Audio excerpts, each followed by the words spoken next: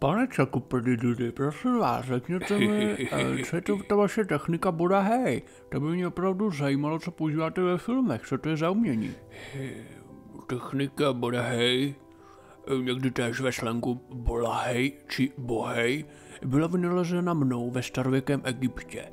Faraon Rachev, zvaný též jako kopač do hlav, budoval armádu, aby dobil celý svět. Mezi osobní gardy strážců zvanou Bolarachev bylo zavedeno umění Bodahej. Aha, to je zajímavé, pane. Eh, Tady mám knihu, kterou jste napsal vy, Technika Bodahej. Pokud chcete, můžete si koupit za neuvěřitelných 150 dolarů. Eh, Pane Čaku, prosím vás, dopovězte nám ještě ty věci ohledně té techniky. No, technika boje byla tak silná, tak zničující, že dokázala vyhladit celé vesnice a města. Díky technice Bodahej Egypt zvítězil a dodnes jsou egyptiané vládci bojového umění, to i přeci každé malé francouzské dítě. Pane redaktore, vy to nevíte? No, takže to jste mě opravdu nasral. Eh, Nechtějte, abych se na vás podíval a ukázal techniku.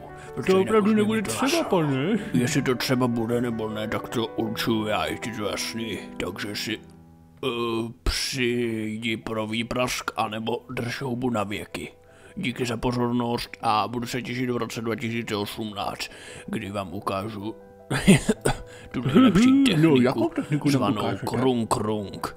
Je to technika ze starověké Číny, kde jsem ji vynalezl uchem.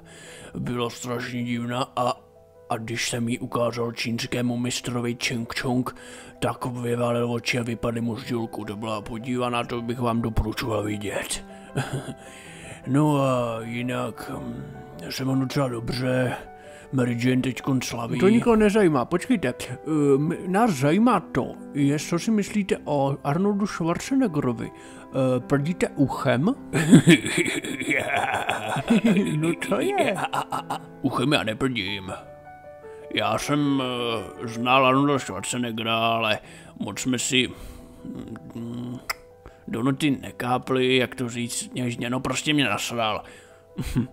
nasral mě, no prostě, nasral mě, no a co Nasral. jako? No, přejdeme na trošičku vážnější téma.